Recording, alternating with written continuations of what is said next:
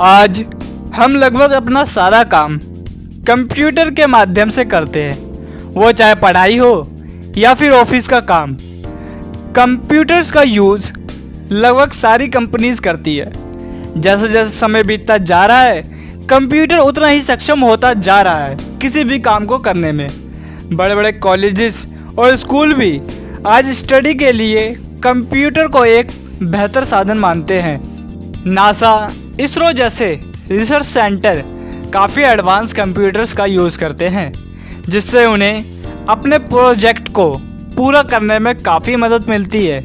Computers कम समय में ही इंसानों की ज़रूरत बन गया है, जिससे आज ये दुनिया तरक्की करते जा रही है। अगर हम ये कहें कि आज हम कंप्यूटर पर निर्भर है तो शायद ये गलत नहीं होगा।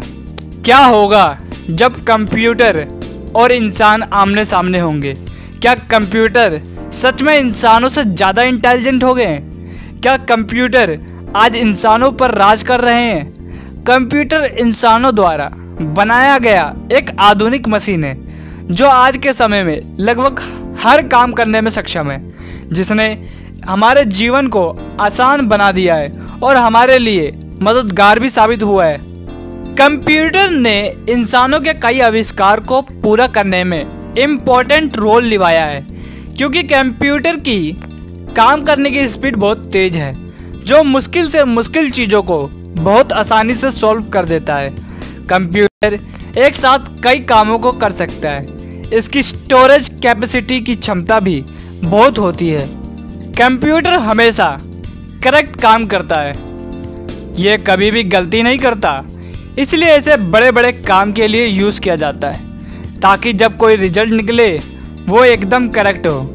कंप्यूटर एजुकेशन के क्षेत्र में भी बहुत अच्छा काम करता है। यह एजुकेशन को आसान बनाता है।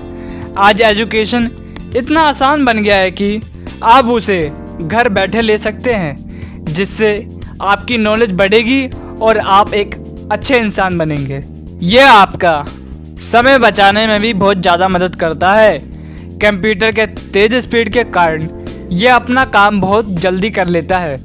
वैसे तो आप जानते ही होंगे, आज हमारे लाइफ में टाइम कितना इम्पोर्टेंट हो गया है। टाइम की कमी के कारण हमारा बहुत सा काम तो हो ही नहीं पाता है। कंप्यूटर ने इस प्रॉब्लम को भी सॉल्व किया है। कागज़ों का निर्माण करने के लिए आज जंगलों से हम लगातार पेड़ों को काटते जा रहे हैं।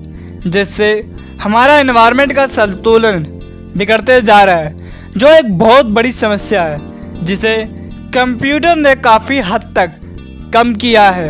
हम अपने डाटा को कंप्यूटर के अंदर स्टोर करके रख सकते हैं, जिससे पेड़ों की कटाई में कमी आएगी। क्या हम इन सभी बातों से ये कह सकते हैं कि कंप्यूटर आज इंसानों से ज़्यादा ताकतवर और इंटेलिजेंट हो गया है।